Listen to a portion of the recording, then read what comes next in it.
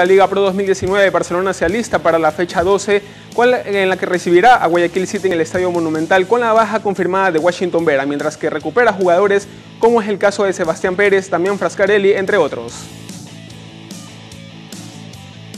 Barcelona registra tres victorias consecutivas en la Liga Pro, lo que permite ubicarse en la tercera casilla de la tabla de posiciones con 21 puntos. Los jugadores se muestran motivados por los resultados positivos. Estamos muy contentos de de vernos un poco más arriba en la tabla, de ver cómo el equipo está jugando.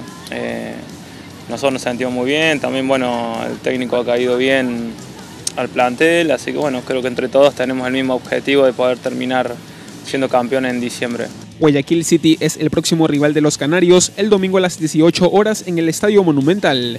Eh, la parte anímica, la parte psicológica siempre es mucho mejor, se trabaja de mejor manera, así que por supuesto que llegamos al, al partido del domingo con las mejores expectativas, con las mejores las ganas, eh, esperando que seguir por este camino de triunfos, que no vaya bien, bueno, y después, por supuesto, eh, poder encarar lo que viene, el clásico y los demás partidos que son muy importantes.